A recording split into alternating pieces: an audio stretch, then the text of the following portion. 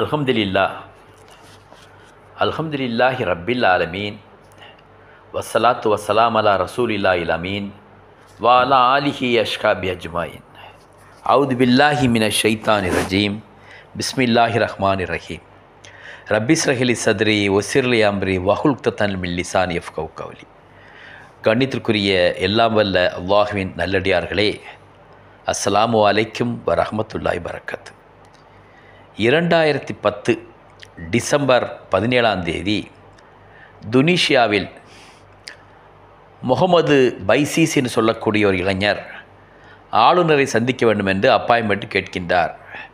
காரணம் நான் ஒரு கடை வைத்திருக்கிறேன். என் கடையில் அடிக்கடி லஞ்சம் கேட்டு வருகின்றார்கள் என்று புகார் மனு அளிப்பதற்காக ஆளுநரை சந்திக்க வாய்ப்பு வேண்டும் என்று கேட்டபோது வாய்ப்பு கொடுக்கவில்லை. இதனால் வெறுப்படைந்த முகமது பௌசிசி தனக்குத்தானே தீ வைத்து தற்கொலை செய்து கொண்டார். அதன் பின் புரட்சி வெடிக்கிறது. இந்த சம்பவத்தை வைத்து துனிஷியாவினுடைய இஹ்வான் முஸ்லீமின் அமைப்பு புரட்சிக்கு ஆணையிட்டது. அதாவது முல்லைப்பு புரட்சியை தொடங்கியது இஹ்வான் Muslimeen. Morocco Egypt Libya Tunisia போன்ற நாடுகளில் இஹ்வான் முஸ்லிமீன்களே பலம் வாய்ந்ததாக இருந்தது. இந்தியா பாகிஸ்தான் பங்களாதேஷ் இலங்கை போன்ற நாடுகளில் ஜமாத்தை இஸ்லாம் எப்படி உள்ளதோ அதே கொள்கை அடிப்படையில் உள்ளது தான் இஹ்வான் முஸ்லீம். ஜமாத் இஸ்லாமுடைய ஸ்தாபகராக அபுல் அஹலா மௌதூத் இருக்கின்றார். இஹ்வான் முஸ்லீமுடைய ஸ்தாபகராக அசல் பன்னாவும் அதை வழிநடத்தி செல்லக்கூடியவராக சையது குத்தூப் இருக்கின்றார். இரண்டு பேருமே இரண்டு அமைப்புமே சகோதர அமைப்பு ஒரே கொள்கை கோட்பாடுகளை கொண்ட அமைப்பு. இரண்டாயிரத்தி பத்துக்கு பின்னால் இரண்டாயிரத்தி பதினெட்டு ஜனவரி இருபத்தெட்டாம் தேதி சிரியாவில் அலி அப்துல்லா எனும் கல்லூரி மாணவர் பசாருல் அசத்துக்கு எதிராக தனக்குத்தானே பெட்ரோல் ஊற்றி தற்கொலை செய்து கொண்டார். அதோடு இந்த முல்லைப்பு புரட்சி சிரியாவிலும் தொடங்கியது. இந்த முல்லைப்பு புரட்சியை ஆதரித்து இந்தியாவில் ஜமாத் இஸ்லாமி குறிப்பாக தமிழ்நாட்டிலும் கேரளாவிலும் ஏராளமான கட்டுரைகளையும் பிட் நோட்டீஸில் வெளியிட்டது. அன்றைக்கு இருந்த இஹ்வான் முஸ்லீம் அமைப்பானதும் தமிழ்நாட்டில் இருந்த இஹ்வான் முஸ்லீம் அமைப்பானதும் இந்த முல்லைப்பு புரட்சிக்கு பெரும் ஆதரவு அளித்தது. பல புத்தகங்களையும் மந்திரி மேகசின்களையும் கட்டுரைகளும் எழுதி முல்லைப்பு புரட்சியை ஆதரித்து பிரச்சாரம் செய்தார்கள் நம்முடைய தமிழ்நாட்டிலும் கூட ஜமாத் இஸ்லாமி இஹ்வான் முஸ்லீம் அமைப்பும். ஜமாத் இஸ்லாமியும் இஹ்வான் முஸ்லீமும் முல்லைப்பு புரட்சி என்றால் இன்றைக்கு வாய் திறக்க மாட்டார்கள் வெட்கி தலைகுனிகின்றார்கள் அது பற்றி பேசவும் மாட்டார். காரணம் முல்லைப்பு புரட்சிக்கு பின்னணியில் நின்றது யூத சியோனிசமும் அமெரிக்கா என்பதுதான். அது இப்போதுதான் அவருக்கு தெரிகிறது இது யூதர்களின் சூழ்ச்சி என்று. இரண்டாயிரத்தி பத்துகளிலிருந்து Libya Tunisia Syria Yemen Egypt போன்ற நாடுகளில் நடந்த இந்த புரட்சியை சுன்னத்துல் ஜமாத் அறிஞர்கள் எதிர்த்தே வந்தனர்.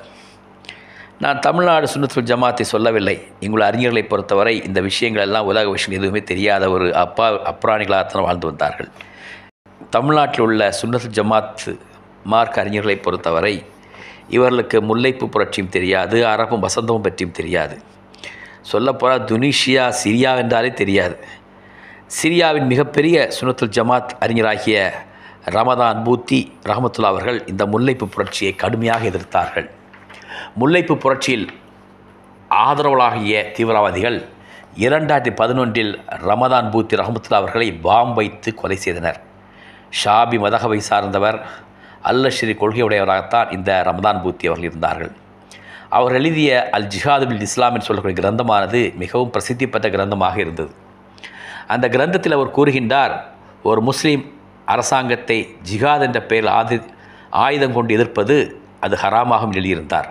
முஸ்லீம் ஆட்சியாளருக்கு எதிராக ஆயுத புரட்சி செய்வது ஹராம் கூடாது என்று எழுதியிருந்தார். இந்த புத்தகம் அல் ஜிஹாதுபில் இஸ்லாம் என்று சொல்லக்கூடிய புத்தகம் வெளியிறங்குவதும் இஹ்வான் முஸ்லீமுடைய ஆஸ்தான அறிஞராகிய யூசுஃபுல் கர்லாபி அவர்கள் கடுமையாக ரமலான் பூத்தி எதிர்த்தார்கள். கடுமையாக ரமலான் பூத்தி பிரச்சாரம் எதிர்த்து அவர் இஸ்லாமிய சமூகத்தினுடைய துரோகி என்றெல்லாம் கூட யூசுப் ஹர்லாபி அவர்கள் விமர்சித்தார். ஆயுத புரட்சி கூடாது என்று எழுதிய ரமதான் பூத்தியை கொலை செய்தார்களோ? இன்று முல்லைப்பூ புரட்சி செய்து ஆட்சி மாற்றம் செய்த லிபியாவினுடைய நிலை என்ன? முல்லைப்பு புரட்சி செய்த ஆட்சி மாற்றம் செய்த துனிஷியாவின் நிலை என்ன? எஜிப்தினுடைய நிலை என்ன? சிரியாவின் நிலை என்ன? இரண்டாயிரத்தி பதினேழு தொடங்கி வைத்த முல்லைப்பு புரட்சியின் விளைவு இன்று வரை சிரியா சின்னாபடுத்தப்பட்டு கொண்டிருக்கிறது. சிரியா ஃபித்னாவை மெஹதி வந்துதான் தீர்ப்பார் சொல்லக்கூடிய ஹதீசியர் நாம் அறிந்திருக்கின்றோம் பேசியிருக்கின்றோம். இன்று ஜமாத் இஸ்லாமிய ஹுவான் முஸ்லீமும் முல்லைப்பு புரட்சிக்கு ஆதரவு அளித்ததை நினைத்து வெட்கி தலைகுனிகின்றார்கள் அது ஒரு யூத அமைப்பு என்று இப்போது தான் தெரிகிறது. இந்த முல்லைப்பு புரட்சி சவுதி குவைத் துவை போன்ற நாடுகளில் இல்லாமல் போவதற்கு காரணம் என்ன? முல்லைப்பு புரட்சிக்கு பின்னால் யூத சியோனிசமும் யூத கைக்கூலிகளாகிய வகாபிசும் இருந்ததனால்தானே சவுதி போன்ற நாடுகளில் பஹ்ரைன் போன்ற நா சவுதி குவைத்து துபாய் யுஏ போன்ற நாடுகளில் இந்த முல்லை புரட்சி ஏற்படாத காரணம் என்ன? இவர்கள் இந்த முல்லை புரட்சிக்கு பின் நின்ற யூதருடைய கைக்கூலிகளாகத்தான் இன்றைக்கு இருக்கக்கூடிய அரபு மன்னர்கள் இருக்கின்றார்கள். அல்லாவுடைய திருத்துதர் அவர்கள் நபிகள் நாயகம் சல்லல்லா அவர்கள் ஜிகாதிற்கு கொடுத்த விளக்கம் என்ன? ஆயுத புரட்சியா? பொதுமக்கள் எப்படி ஆயுத புரட்சி செய்ய முடியும்? நன்றாக யோசித்து பாருங்கள். அரசாங்கத்திற்கு எதிராக பொதுமக்கள் ஆயுத புரட்சி செஞ்சால் நிச்சயமாக அது நாட்டையே சின்னாபின்னப்படுத்தக்கூடியதாக தான் இருக்கும். அப்படிப்பட்ட நிலைப்பாட்டை தான் இன்றைக்கு பெரும்பான்மை முஸ்லீம் நாடு நாம் பார்க்கின்றோம். அல்லாவுடைய திருத்தூதர் நபிகள் நாயகம் சல்லல்லார் சோர்கள் ஹஜ் செய்வதற்காக மக்கா வந்திருந்தார்கள். முதல் ஜம்ரா எரியும் பொழுது ஒரு ஷஹாபி அல்லாவிடம் திருத்தூதர் கேட்கின்றார்கள் நபியே ஜிஹாது என்றால் என்ன? அதற்கு அல்லாவுடைய திருத்தூர் அவர்கள் பதில் கூறவில்லை. இரண்டாவது ஜிம்ரா எரியும் போது கூட அந்த சஹாபி வந்து நின்று அல்லாவுடைய தூதரே மிகப்பெரிய ஜிஹாத் என்றால் என்ன? என்று கேட்கின்றார். அதற்கும் அல்லாவுடைய திருத்தூதர் பதில் கூறவில்லை. மூன்றாவது ஜம்ரா எறியும் பொழுது யார் சொல்லல்லா ஜிஹாத் என்றால் என்ன? என்று கேட்கின்றார்கள். அப்போதும் அல்லாவுடைய திருத்தூதர்கள் ஒன்றுமே சொல்லவில்லை. துவாவும் செய்துவிட்டு ஒட்டகத்தில் அமர்வதற்காக தன்னுடைய ஒட்டகத்தினுடைய அந்த ஏறக்கூடிய அந்த கயிற்றை கால் வைத்திருக்கும் பொழுது கூறுகின்றார்கள் என்னிடம் கேள்வி கேட்ட நபர் எங்கே? என்றார்கள்.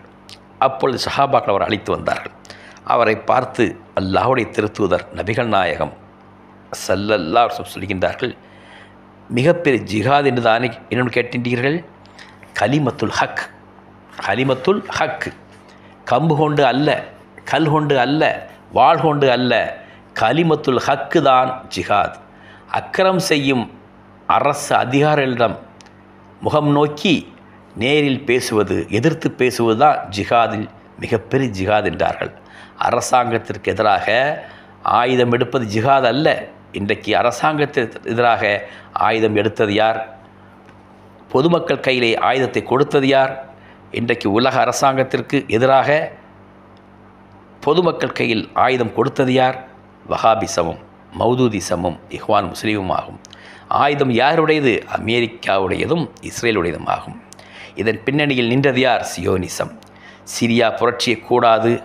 அது நாட்டையே நாசப்படுத்திவிடும் அழிவுக்கு உள்ளாக்கிவிடும் என்று சுன்னத்துல் ஜமாத் அறிஞர் கூறியபோது சலஃப் அறிஞர்களும் ஜமாத் இஸ்லாமை கைகொட்டி ஏளனம் செய்தார்கள். பயந்தாங்கோழிகள் என்றார்கள் துணிச்சல் இல்லாதவர்கள் என்றார்கள் கோழைகள் என்றார்கள். இந்த ஆயுத புரட்சியில் சிரியா இன்றைக்கு என்ன ஆனது? லிபியா அதிபர் கடாபியை நடு ரோட்டில் வைத்து கல்லெறிந்து கொண்டார்களே. இன்று நிலை லிபியா நிலைமை என்ன? லிபியா கடாபியை கொலை செய்து பாபம் என்று ஏழு எட்டு ஆண்டுகளுக்கு முன்னால் நான் ஃபேஸ்புக்கிலே ஒரு பதிவு போட்டபோது என் மீது சீறி பாய்ந்தார்கள் ஐஎஸ்ஐஎஸ் ஆதரவாளர்கள். இப்போது அவர்கள் எங்கே இருக்கிறான்னு தெரியவில்லை. அதுவும் இந்த ஸ்ரீலங்காவில் சொல்லக்கூடிய ஜிகாதிஸ்ட் இருக்கின்றார்களே இவர்கள் அட்டூழியம் மிகப்பெரிய அட்டூழியமாக ஏழு எட்டு ஆண்டுகளுக்கு முன்னால் இருந்தது. ஃபேஸ்புக்குடைய ப்ரொஃபைலை பார்ப்போமானால் சவுதியிலே தலையிலே கட்டக்கூடிய துணியை முகத்திலே கட்டிக்கொண்டு கண்ணை மட்டும் காட்டிக்கொண்டு நாங்களெல்லாம் ஜிஹாதிஸ்டுகள் சொல்லிக்கொண்ட அந்த துடிப்பு மக்களினுடைய துடிப்புகள் இங்கே எங்கே போனது தெரியவில்லை. அவர் எங்கே இருக்கார் என்று தெரியவில்லை. அந்த அளவிற்கு இவர்கள் போனதுக்கு காரணம் அன்றைய காலகட்டத்தில் இருந்த ஜிஹாதிஸ்டுக்கு சப்போர்ட்டாக இருந்த யூசுஃபுல் ஹர்லாபி ஒரு முக்கிய காரணமாக இருந்தார்.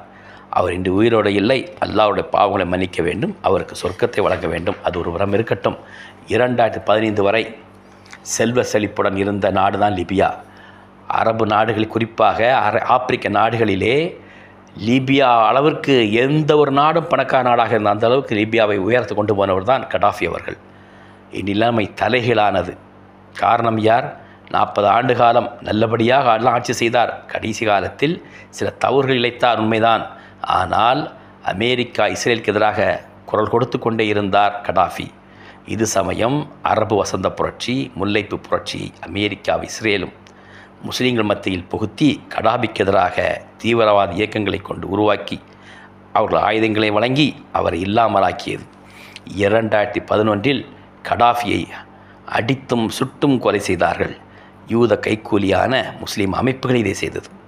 இரண்டாயிரத்தி பதினொன்றுக்கு பின்னால் லிபியா அமைதி திரும்பியதா? யுனைடெட் நேஷன்களில் பொம்மை அரசாகிய ஜிஎன்ஏவுடைய கவர்மெண்ட் ஆஃப் நேஷனல் அக்கார்ட் சொல்லக்கூடிய அமைப்பும் எல்என்ஏ லிபியன் நேஷனல் ஆர்மின்னு சொல்லக்கூடிய அமைப்பும் சிவில் வார் நடத்தி கொண்டிருக்கிறது. இன்றைக்கு நாடே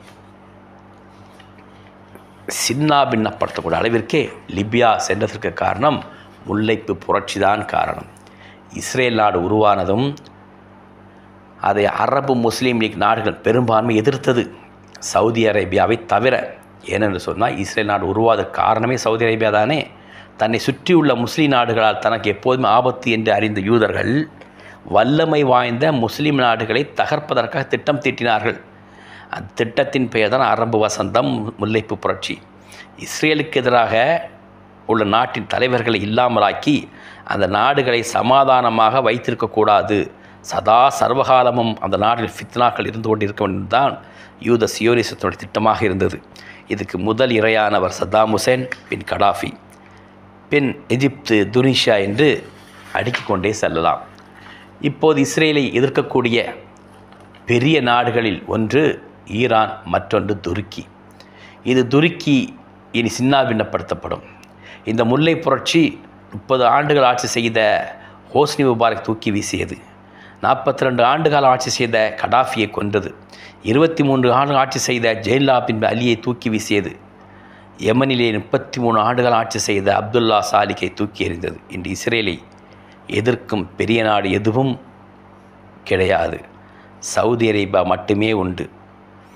சவுதி அரேபியா எதிர்க்காது. காரணம் சவுதி அரேபியா இஸ்ரேலுக்கு ஆதரவு கொடுத்த நாடு. இஸ்ரேலும் சவுதி அரேபியாவும் அண்டர் கிரவுண்டிலே மிகப்பெரிய ஆதரவு நாடாக அன்றும் இன்றும் இருந்து கொண்டே இருப்பது. மற்ற இன்று இஸ்ரேல் எதிர்க்கும் பெரிய நாடு எதுவுமே இல்லை. சவுதி அரேபியா இருக்கிறது என்று சொன்னால் அது நிச்சயமாக இஸ்ரேல் எதிர்க்காது. சவுதி அரேபியா என்றைக்குமே இஸ்ரேலுக்கு ஆதரவான நாடு தான் இஸ்ரேல் உருவாவதற்கு காரணமாக அமைந்ததே இந்த சவுதி அரேபியா தானே. மற்றபடி இஸ்ரேல் எதிர்க்கும் பெரிய நாடுன்னு சொன்னால் அது துருக்கியும் ஈரானும் ஆகும். துருக்கி கட்டம் கட்டி விட்டார்கள். துருக்கி வீழும் ஆட்சி மாற்றம் ஏற்படும். துருக்கி யூரோப்பியனுடைய கட்டுப்பாட்டுக்குள் செல்லும். அதை மீட்கத்தாலே மிகுதலை வருகின்றார்கள் வருவார்கள். நிச்சயமாக அல்லாவுடைய வாக்கும் அல்லாஹ் திருத்துடைய வாக்கும் நிறைவேறும். நிச்சயமாக மெஹிதேசன் வருவார்கள். வாஹிர் தாவானா. அல்ஹம்துலில்லாஹி ரபில் ஆலமீன். அஸ்ஸலாமு அலைக்கும் வரஹமத்துல்லாய் வரக்கத்து